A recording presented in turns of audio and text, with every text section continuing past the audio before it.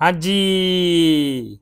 भाई मेरे हाथ में है Voopoo V mate pro finally मेरे हाथ में ये आ गया। अ, बहुत टाइम से ये चाइना से निकला हुआ था। ये मेरे पास वोपो ऑफिशियल जो चाइना वोपो है ठीक है ना वहाँ से डायरेक्ट आया है। तो यूँ समझ लें कि अप्रॉक्स कोई सिक्सटी डेज़ लगे इसको यहाँ तक पहुँचने में मेरे पास पहुँचने में। और बहुत इसके अंदर जद्दोजहद भी लग गई। बहरहाल खैर आवाम के लिए करना पड़ता है भाई। आवाम को रिव्यू चाहिए। बहरहाल Voopoo V mate pro purely flavour upgraded cartridge इसके अंदर है कुछ इंटरेस्टिंग फीचर्स जो इनके हैं। वो यहाँ है कि ओलेड स्क्रीन पहले वी थ्रू के अंदर भी थी जो अपना ओलेड स्क्रीन अब ये वी मेड प्रो मेरे हिसाब से जो बज़ाहिर ऐसा लग रहा है कि वी थ्रू का ही अपग्रेडेड वर्जन है। Built in nine hundred M H I think V thru pro की भी ऑलमोस्ट सेम थी, यही थी। इनोवेटिव इन्फिनाइट ठीक है? एयर फ्लो है। वी थ्रू प्रो में एयर फ्लो नहीं था। Puff counting record I think V thru में भी था। खैर, करते हैं इसको unbox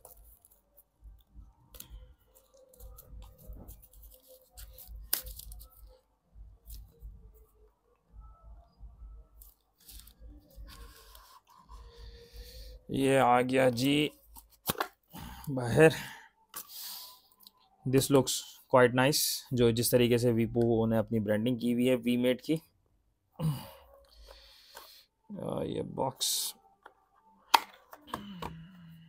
device is looking quite sexy खैर, सबसे पहले जो है वो एज़ यूजुअल इस डब्बे के अंदर क्या है? बेड सॉल्ट ठीक है? और जी आपका कुछ पेपर वर्क ठीक है? टाइप सी केबल और जी इसके अंदर होना चाहिए अपना एक पॉड ठीक है। अब इस पॉड की स्पेसिफिकेशन शायद मुझे अभी फ़िलहाल पता नहीं चले। अगर मैं डब्बे के ऊपर देखूँ, डब्बे के अंदर लिखा हुआ है ज़ीरो पॉइंट सेवन का एक पॉड होगा और वन पॉइंट टू का एक पॉड होगा। तो डिवाइस के अंदर जो लगा हुआ है, वो है जी डिवाइस के अंदर जो लगा हुआ है ज़ीरो पॉइंट सेवन डिवाइस के हम अंदर जी ज़ीरो पॉइंट सेवन लगा हुआ है, जो कि हम अपने इस्तेमाल में लेंगे। और जी डिवाइस की अगर मैं बात करूँ ये इसका पावर बटन है, one, two, three, four, five. ठीक है, ये सेम जिस तरीके से वीपू वी थ्रू ओपन होता था, जिस तरीके से उसकी स्क्रीन थी एज इट इज़ उन्होंने जो है वो डिटो यहाँ जो है है वो छापा है, जिस तरीके से मेरी एक्चुअली फेरी फ़र्स्ट डिवाइस थी वी थ्रू प्रो। मैंने वहाँ से वेपिंग अपनी जर्नी स्टार्ट की थी। अट्ठाईस सौ रुपये की मैंने यूज़ में पकड़ी थी एक बंदे से। और वो बकरीद का टाइम था, बस मंडी जाने के लिए पकड़ी थी। तो बहरहाल वहाँ से हम शुरू हुए थे।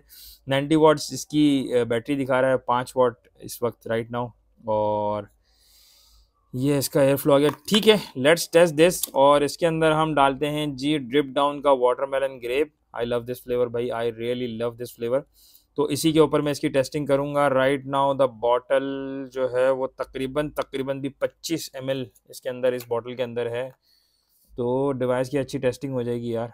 अगर ये 25 एम उतार लेती है तो इसका मतलब ये है कि ये डिवाइस अच्छी है।